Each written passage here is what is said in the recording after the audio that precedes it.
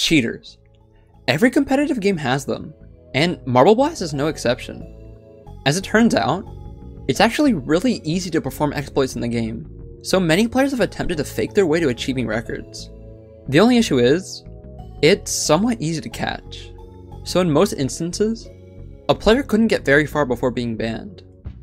The story of Tyler DC is one of those cases. His record of 7.6 seconds on Mountaintop Retreat raised several questions, as nobody thought this sort of time was even possible. Luckily, the playback of each world record is automatically uploaded, so mods were able to inspect the game to see if the run was in fact legit. The playback itself was interesting, to say the least.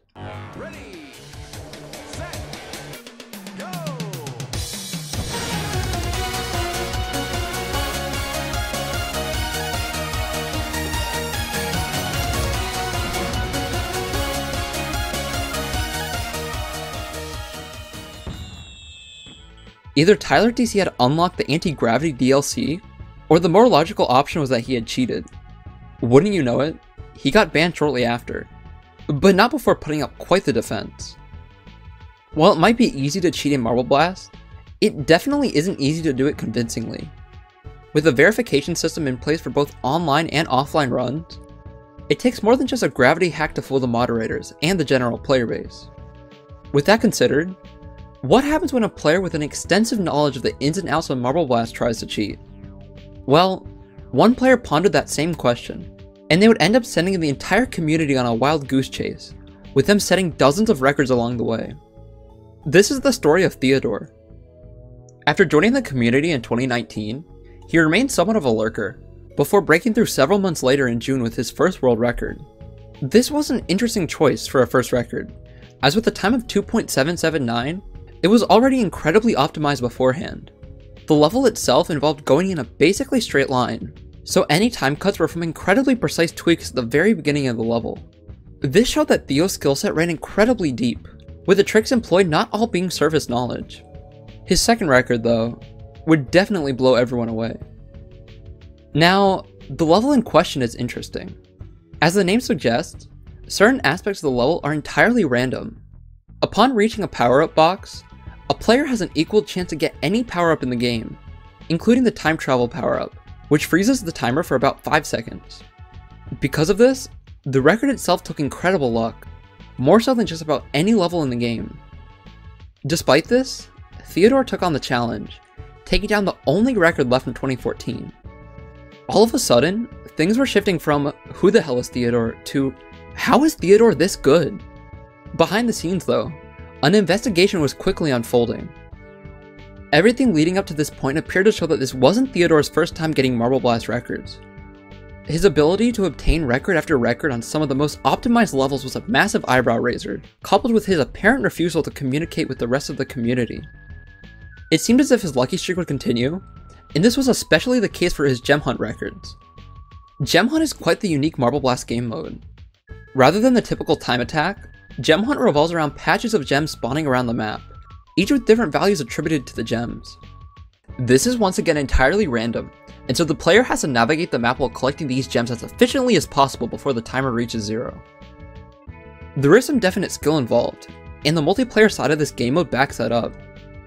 But given a large enough sample size of games, it's easy to see how a player could snag a record or two. It's a bit surprising then, when a player such as Theodore is able to snag nearly all the top scores ever recorded on a given gem hunt level including getting the world record on gem finding folly by almost 40 points. Theodore was starting to cement his legacy as a potential Marble Blast grade. It wasn't often that a player could step into the scene and get record after record shortly after.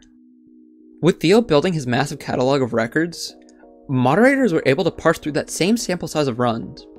While it isn't feasible for Theodore to be using blatant movement cheats without red flags immediately appearing, it was possible for him to be a bit more devious.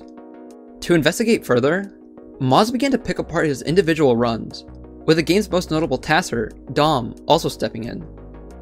One category of levels that Theodore was particularly proficient in was the incredibly optimized straight line levels. These levels had time separated by thousands of seconds, but there were still viable strategies that could be used to get to the end faster.